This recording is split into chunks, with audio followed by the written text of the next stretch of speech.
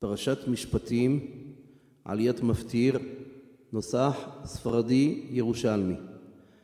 ויעל משה אל ההר, ויכסה ענן את ההר, וישכון כבוד אדוני על הר סיני, ויכסהו הענן ששת ימים, ויקרא אל משה ביום השביעי מתוך הענן, ומראה כבוד אדוני כאש אוכלת בראש ההר לעיני בני ישראל.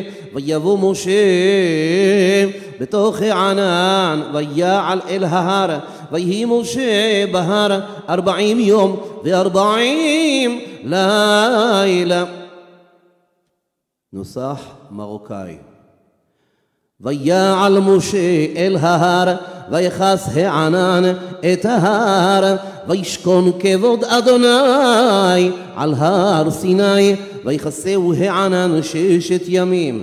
ויקרא אל משה ביום השביעי מתוך הענן ומראה כבוד אדוני כאש אוכלת בראש ההר לעיני בני ישראל ויבוא משה בתוך הענן ויעל אל ההר.